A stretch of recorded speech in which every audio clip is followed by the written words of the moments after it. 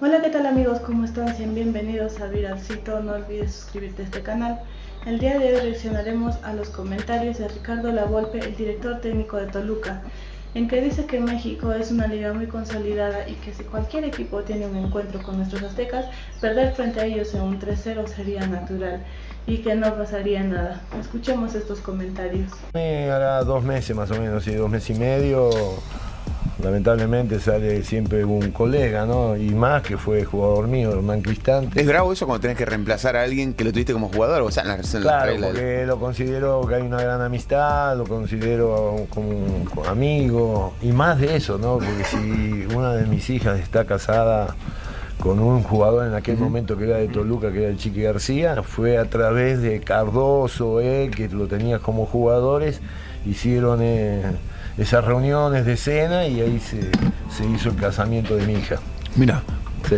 Por eso, más allá, todavía sé que se comportó de 10 puntos cuando yo tenía a mi hija soltera, ¿no? Que, hay que cuidarla, a ver a dónde va la noche y todo lo que. Todas las preocupaciones de un padre. ¿Eh? ¿Te acordás ese episodio en tu casa? ¿Qué fui, pasó? A, fui a pasar, no sé si eh, Navidad, Año Nuevo, ahí en Guadalajara, sí. a la casa de Ricardo y había tenido un accidente tu hija, ¿te acordás? Chocaron. Chocó. Eh, sí, viste, a la, casa de Ricardo, yo no lo conocía, por intermedio de un jugador que se llamaba Jerez. Jerez. Y llego a la casa, recién llegaba a México, de, ya estaba solo, y voy a pasar Navidad a la casa de, de Richard. Y estaba la hija con toda vendada, toda con yeso, con un collarín. Digo, ¿de dónde viene? Sí, eh, se acostumbra, como acá también, se acostumbra a las 2 3 de la mañana y a, a, bailar y sí, lo tienen chocado justamente. Pero bueno. Otra, eh, otra, otra parte esa. ¿Cómo ves el fútbol argentino?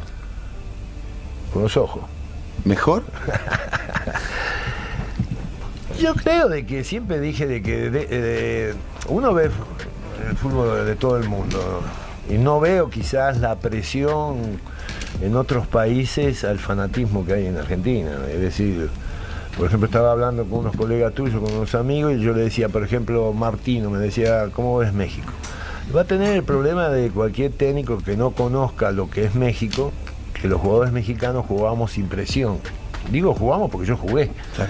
¿Qué es impresión? Perdés 3 a 0 y te piden autógrafo, te sacan fotos. 3 a 0 en Argentina es otra cosa. ¿En México pasa eso? ¿Perdés 3 a 0 y no pasa nada? Nada. Nada. Sí, pero lo mismo que. ¿Cómo no va a seguir igual? Por un lado, yo reconozco que México es lo que quisiéramos todo.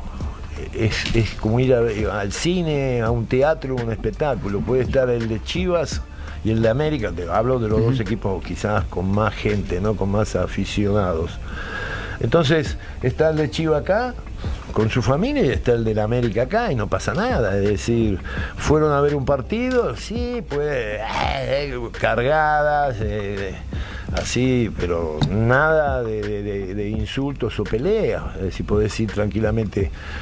A ver, como yo iba con mi papá cuando tenía 6, 7 años a ver a Banfield, o mi, el hermano de mi papá era fanático de River y alguna vez me venía a ver a Amadeo Carrizo para que aprenda, me decía. Y no era que yo era hincha de River, sino que yo iba a ver un espejo que, que, a futuro que yo quería ser como Amadeo Carrizo. Y tiraba la pelotita contra la pared y soy Amadeo Carrizo, decía. Así es amigos, como pudimos escuchar, estos fueron sus comentarios.